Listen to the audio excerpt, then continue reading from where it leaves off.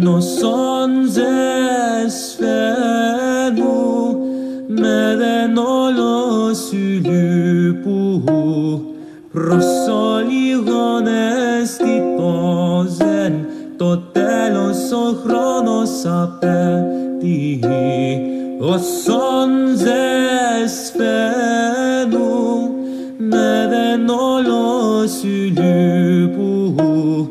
προς όλιγον αισθητόζεν το τέλος ο χρόνος απέτει Bugün İnsanlığın İzleri belgesel bölümümüzde Antik Kentler serimizin 22.sinde Ege kıyılarından biraz iç tarafta kalan Tralleis kentindeyiz. Tralleis Antik Kenti, Aydın ilinin kuzeyinde Kestane Dağı'nın, Mesogis'in güney yamacındaki geniş ve yüksek plato üzerinde konumlanır. Antik metinlerde Menderes Nehri veya Mesogis Dağı'nın sınır kabul edilmesi kentin bazen Karya, bazen de Lidya bölgesi içinde gösterilmesi neden olmuştur. Strabon, Magnezya'dan gelerek Tralleis'e ulaşan antik yolun solunda Mesogis Dağı'nı, sağında ise Menderes Irmağı'nın ovasının bulunduğunu ve yaşayan halkın Anadolu'daki diğer kentler kadar zengin bir halk tarafından iskan edildiğini ve kentte yaşayan bazı kişilerin başka eyaletlerde önemli mevkilerde geldiğini söylenir.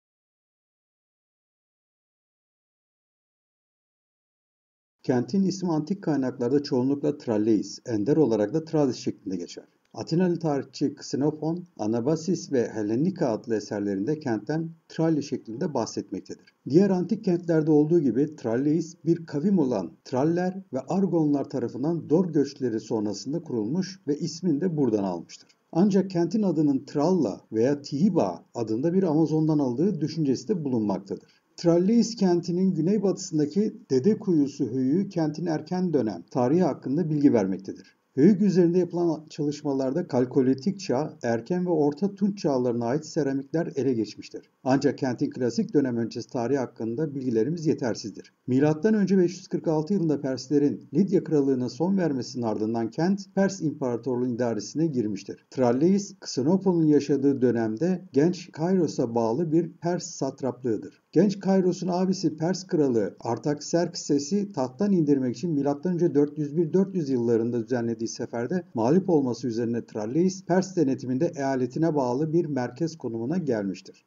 Büyük İskender'in M.Ö. 334 yılında Pers kralı Darius'u yenerek Anadolu'ya girmesiyle Tralleis de diğer birçok Batı Anadolu kenti gibi gönüllü olarak Makedonya krallığının hakimiyetini kabul etmiştir. İskender'in Halikarnos'u aldıktan sonra Frigya'ya doğru yola çıkmadan önce mancınık ve diğer savaş aletlerini Tralleis'e taşıdığı, Halikarnassos'u aldıktan sonra ise bütün Karya'nın eyaletlerini İderyus'un karısı Ada'ya verdiği bilinmektedir. Büyük İskender'in M.Ö. 323 yılında ölümünden sonra komutanlar arasında çıkan Diadokalar, Halefler savaşlarında kent kısa süreli olarak Asandros, Antigonos ve Lysimakos arasında el değiştirmiştir. Diadokalar arasında M.Ö. 281 yılında yapılan Kurupedion Savaşı sonrasında ise Seleukos Krallığı'nın egemenliğine girmiş ve Seleuka adını almıştır. Kentin Seleukoslar dönemindeki durumu konusundaki bilgilerimiz yetersizdir. Ancak Seleukos Kralı 3. Antiochos ile Pergamon Kralı 2. Eumenes ve müttefiki Romalılar arasında Sipilos, Yamanlar Dağı yakınlarında M.Ö. 190 yılında yapılan Magnezya Savaşı'na Tralleis halkı 3. Antikonos'u desteklemiştir. Tüm bu olaylar kentin M.Ö. 190 yılında Seleukos Krallığı'na bağlı bir şehir olduğunu göstermektedir. Savaşın kaybedilmesi sonrası Tralleisler Romalıların lideri konsül Lysius Cornelius Scipo'ya gidip af dileyip Roma hakimiyetine girmek istemişlerdir. Seleukos Kralı 3. Antiochos'un Magnezya Savaşı'nda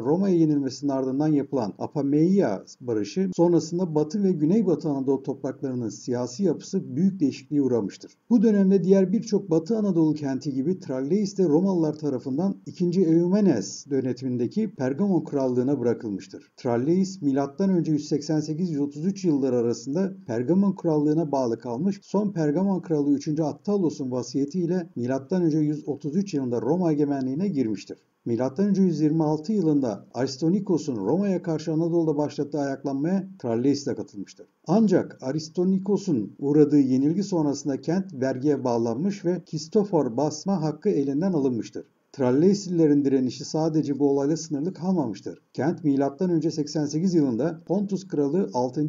Mitridates'in Roma'ya karşı başlattığı ayaklanmaya da destek vermiştir. Bu amaçla Concordia Tapınağı'nda ve toplanan Romalılar ve Roma yandaşları Mitridates'in askerleri tarafından katledilmiştir. Dulla'nın Pontus kralı Mitaderes'i yenmesi sonrasında bu isyana katılan kentler Romalılar tarafından 5 yıl süreyle ağır vergi ödemekle cezalandırılmıştır. Daha sonraları Pompeius'un ılımlı tutumu ile vergiler hafifletilmiş ve ekonomik açıdan iyileşme dönemi başlamıştır. Tralleis'in tekrar itibar kazanmasında Pompeius'un yakın dostu Tralleis'te yaşayan Nisalı tüccar Pitodoros'un önemli bir katkısı olmuş ve kent M.Ö. 58 yılından sonra tekrar Kristofor basmaya başlamıştır. M.Ö. 1. yüzyılın ikinci yarısında daha da gelişen ve ünlenen Tralleis antik yazarların bahsettiğine göre zengin ve entelektüel insanların yaşadığı bir kent haline gelmiştir. Tüm bu olumlu gelişmelerin yanında M.Ö. 26'da İmparator Augustus döneminde yaşanan şiddetli deprem kentte büyük zarara yol açmıştır. Bu depremin zararlarını silmek isteyen Augustus kente parasal destek sağlamış ve imar faaliyetlerini yeniden başlatmıştır. Kent bu dönemden Nero dönemine kadar Caesarea ismini almış ancak İmparator Trianus döneminde ismi yeniden Tralleis olarak değiştirilmiştir edilmiştir. Augustus'la başlayan imar faaliyetleri Tiberius zamanında da devam etmiştir. Kent Caligula ve Claudius dönemlerinde de heykeltıraşlık alanında da ün kazanmıştır. Milattan sonra 129 yılında Anadolu'ya yaptığı ziyaret sırasında Tralleis'e de uğrayan Roma İmparatoru Hadrianus kentte ticari yönden destek vermiştir. Ancak sikme ve yazıtlar dışında kentin bu dönemden sonraki tarih hakkında bilgilerimiz yetersizdir. Tralleis Doğu Roma İmparatorluğu döneminde Anadolu Patriğine bağlı yönetilmiştir. 13. yüzyıl sonunda Türkler tarafından fethedilmiştir. Ancak depremlerin yarattığı ağır tahribat ve olasılıkla su kaynaklarındaki yetersizlik nedeniyle iskan edilemeyip kentin güney eteklerine yerleştirilmiştir. Aydın 14. yüzyılın ilk çeyreği içinde Aydınoğulları Beyliği'nin 15. yüzyılın ilk yarısında ise Osmanlı İmparatorluğu'nun eline geçmiştir.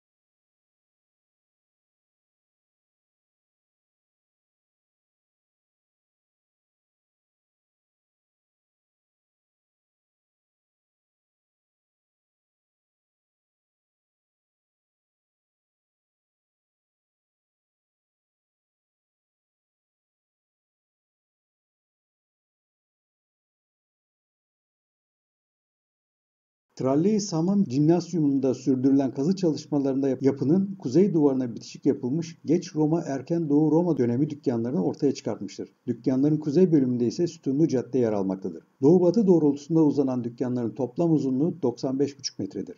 Dükkan duvarları arasında bulunan pencere biçimli açıklıklar bu mekanların birbirleriyle bağlantılı olduğunu göstermektedir. Dükkanların üstü örtü sistemiyle ilgili olarak çok az veri elde edilmiştir. Ayrıca yoğun biçimde tahrip olmaları nedeniyle dükkanların iç döşemesine ilişkin bilgilerimiz sınırlıdır. Ancak bazı dükkanların duvarlarına kireç tuğla harçlı sıva üzerine siyah ve kırmızı renkte geometrik süslemeler yapıldığı ve mekanın işlevine uygun olarak nişler açıldığı görülmektedir. Yapı kompleksinin tam ortasında yarım daire şeklinde bir çeşme yapısı bulunmaktadır. Çeşmenin her iki yanında simetrik olarak yapılmış 7'şer adet dükkan yer almaktadır. Çeşme yapısının doğu ve batısında yer alan dükkanlar yaklaşık 5.20'ye 6.15 metre ölçülerindedir. Geç antik çağda çok fazla tahrip edildiklerinden dükkanların kullanım amaçları tam olarak belirlenememiştir. Bununla birlikte Aleasatra girişinin batısındaki dükkanın ve 7. 7 nolu dükkan olarak adlandırılan mekanın cam otelisi olarak kullanıldıkları tespit edilmiştir. Kazı çalışmalarında çok sayıda cam obje, cam çubuk ve bunların yapımında kullanılan fırına rastlanması dükkanlarda cam üretim yapıldığı düşüncesini doğrulamaktadır. Kazı çalışmaları sırasında bulunan eserler yardımıyla dükkanların milattan sonra 5. yüzyılda kullanılmaya başladığı, milattan sonra 8. yüzyılın ilk yarısına kadar da kullanıldığı anlaşılmaktadır.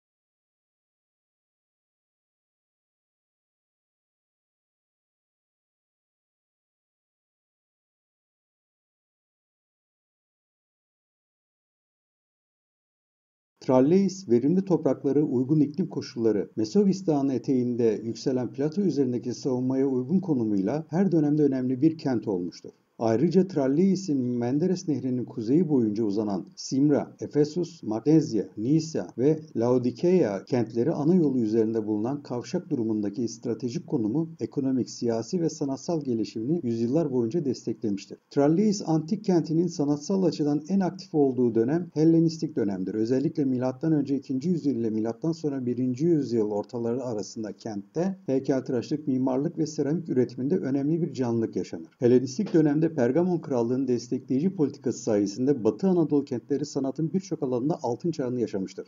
Örneğin Tralleis ekonomik gücünün göstergesi olarak bu tarihlerde Kristofor basmaya başlamıştır. Ayrıca Helenistik dönemde Tralleisli sanatçılar hem kendi hem de komşu kentlerde birçok önemli anıtın yapımında çalışmışlardır. Bu eserlerin işçiliği kentin heykeltıraşlık alanında Batı Anadolu'da önemli bir merkez olduğunu göstermektedir. Tralleis'in heykeltıraşlık sanatında ünlenmesinin en önemli nedeni politik ve ekonomik gücüdür. Ayrıca kentin zengin mermer yataklarına ve bunları işleyecek yetenekte sanatçıya sahip olduğu bilinmektedir. Ancak Flavioslar dönemi ve sonrasında kentin ekonomik ve siyasi gücündeki azalma ile birlikte heykeltıraşlık alanındaki çalışmalar Afrodisiyas'a kaymıştır. Kent heykeltıraşlık sanatı dışında mimari alanda da önemli bir merkezdir. Özellikle Helenistik dönemde kentte imar faaliyetlerinde de artış olmuştur. Bu dönemde kentte Zeus, Larasios, Asklepios, Nike ve Dionysos adına tapınaklar yapılmıştır. Ayrıca halkın sosyal ve kültürel yaşantısı için tiyatro, stadyum ve jimnasyum gibi yapılar inşa edilmiştir. Yine Helenistik dönemde halk kentte Attalos kralları için tuğladan büyük bir saray yaptırmıştır. Antik yazarlardan Vitruvius ve Plinius'un bahsettiği politik amaçla yapılan bu yapı Roma döneminde Tralles kentinin baş tanrısı Zeus Larasios'un rahibi tarafından kullanılmıştır. Yapılan çalışmalar ve antik kaynaklar Tralleis'in seramik alanında da önemli bir merkez olduğunu göstermektedir. Tralleis'in M.Ö. 2. yüzyıl ortalarından başlayarak terrasigliata kaplar ürettiği ve Roma İmparatoru Tiberius döneminden 1. yüzyılın sonuna kadar Efesus ile birlikte Doğu Sigillata üretim merkezi olduğu belirtilmiştir. Bu kırmızı renkli astarlı seramik geleneğin devamı günümüzde Aydın Karacasu çömlekçiliğinde de izlenmektedir. Kentte adı günümüze ulaşan birçok ünlü kişi yetişmiştir. Örneğin kentte en fazla tanınan kişilerden birisi Aslan Nisalı olan ancak kentin zenginliği ve ününden dolayı Tralleis'te yaşayan Pompeius'un arkadaşı Pitodoros'tur. Tralleis'te Dionysokles ve Damassos Sakrambros gibi ünlü hatipler doğmuştur. Tralleis'te doğmuş önemli kişilerden bir diğeri Doğu Roma döneminin ünlü hekimlerinden Tralleisli Aleksandros'tur. Milattan sonra 525 yılında Tralleis'te doğan hekim, zamanın tıp kitaplarından öğrendiği bilgileri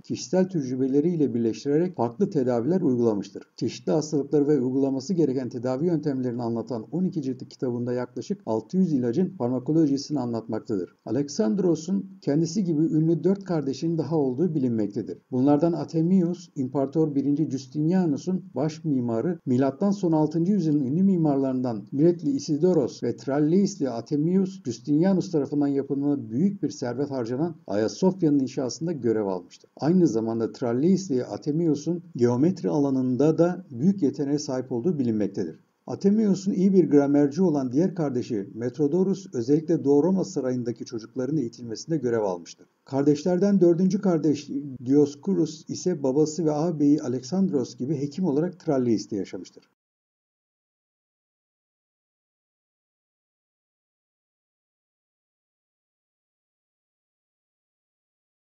Roma döneminde mimari olarak ortaya çıkan latrinalar bu dönemde Roma kentinin forum, amfiteyatro ve sütunlu cadde yapıları gibi kente özgü yapılarıdır. Tralles latrinası cimnasyum yapı kompleksi içerisinde kuzeydoğu köşede antik cadde ile kesişen noktaya yapılmıştır. Büyük bir dikdörtgen plan gösteren latrina 20 x 15 metre ölçüleriyle ve 66 kişilik kapasitesiyle Anadolu için bilinen en büyük halk tuvaletidir. Latrinaya 3 girişten girilmektedir. Batıdaki giriş cimnasyumun içerisindeki kullanıcılara, güneydoğudaki giriş dışarıdan cimnasyuma gelenlerin ve kuzeydoğudaki giriş antik caddeden geçen halkın rahat kullanılması yapılmıştır. Latrinalarda aydınlatma, ışığı, kötü kokunun giderilmesi ve atların uzaklaştırılması en önemli sorunlar olmuştur. Bu sorunların giderilmesi için latrinalarda en önemli etken sudur. Hamam yapıları içerisinde yer alan ya da yakın olan latrinalarda hamamdan gelen atık sular latrina kanalizasyonuna verilerek kanalizasyonun temizlenmesi sağlanmıştır. Tralleis latrinasında da bu uygulama görülmektedir. Hamamdan gelen pis sular latrinanın güney duvarından köşeye doğru yer alan kanal ile kanalizasyona akıtılmıştır. Böylece kanaldaki atıkların daha hızlı ve etkin uzaklaştırılması sağlanmıştır. Temiz su su blokları güney, kuzey ve batı yönlerinde oturma sıralarının hemen önünde latrinayı çevrelemektedir. Birçok örnek gibi Tralleis latrinasında temiz su kanalları mermerden yapılmıştır. Mermerlerin ölçülerine baktığımızda Tralleis latrinasının mermer temiz su kanalları diğer latrinaların temiz su kanallarına göre birçoğundan daha büyüktür. Latrinanın oturma sıralarının altında derin atık kanalları geçmektedir. Atık kanallarının ortalama genişliği 45 santim, ortalama derinliği de 2.75 metredir. Tralleis latrinasının güney atık su kanalı doğudaki küçük havuzun altından geçerek kuzeye doğru devam etmektedir.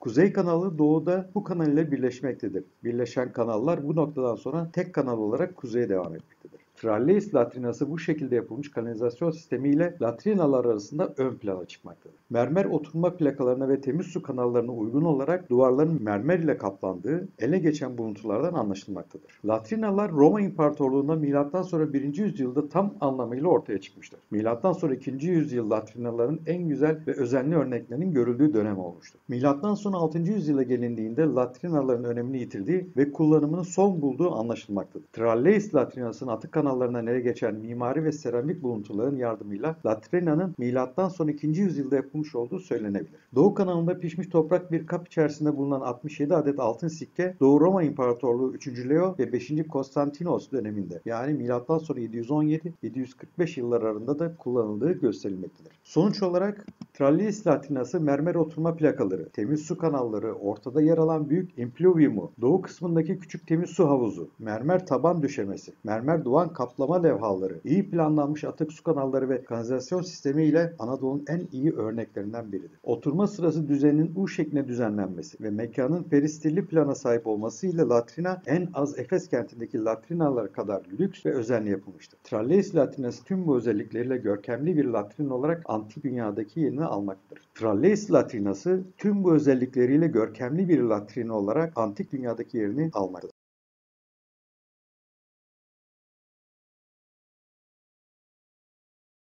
Seilikos'un mezar yazıtı antik devirden günümüze noksansız ulaşan tek müzik parçasını kaydettiği için müzik tarihinde çok özel bir yere sahiptir. Mezar taşının üzerinde Grekçe bir mezar anıtı ile bir melodinin söz ve bestesi yer almaktadır. Yazıtın önemli tarafı güftenin her hecesinin üzerinde birer notanın yer almasıdır. Seiklios adındaki mezar sahibi mezar taşının üzerine dört satırlık bir güfte ve buna ilişkin besteye ait notaları yazdırmıştır. Trallius'li Seiklos'un ünlü bestesi. Seiklios dikti beni, ben taştan bir heykelim. Anısını yaşatmaktadır sonsuza dek gönül. Işılda yaşadığın sürece hiçbir şeyi dert etme.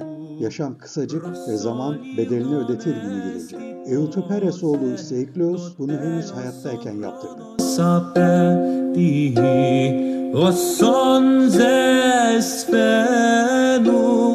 Neden olosülü bu Prosolihon estiton το τέλος ο χρόνος απέμπτει